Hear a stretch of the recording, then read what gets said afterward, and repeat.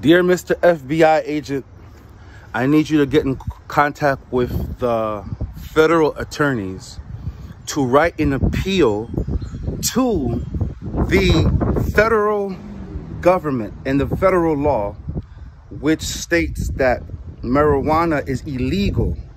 But now you need to make the federal appeal of this law under a scientific fact that marijuana is now categorized under a medical under a medical condition which means because it is now a medical or a medicine scientifically speaking that you can no longer you can no longer criminalize it because scientifically speaking and you ask any doctor across the country that it is used for anxiety, depression. It is used for migraines. It's used for several different reasons, even res respiratory, even respiratory uh, syndrome. So all of these things, all of the benefits of it has become medicated.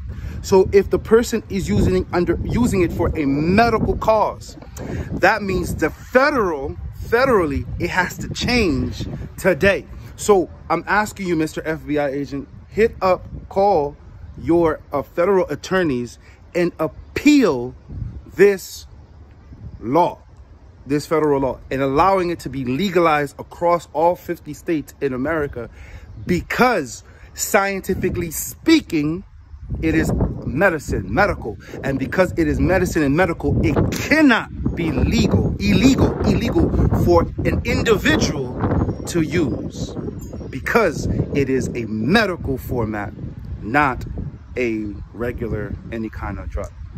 Just as you cannot pull somebody over or arrest them for Tylenol, you cannot pull them over and arrest them because they possess a, a bottle of a bottle of uh, Perc Percocet because it is a prescribed drug.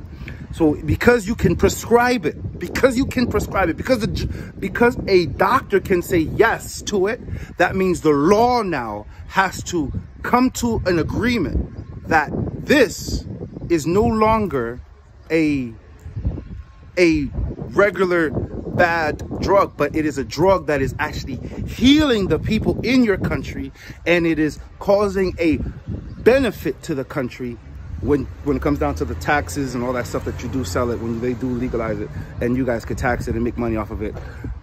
Make the law change today mr fbi agent. Sir thank you. Appreciate it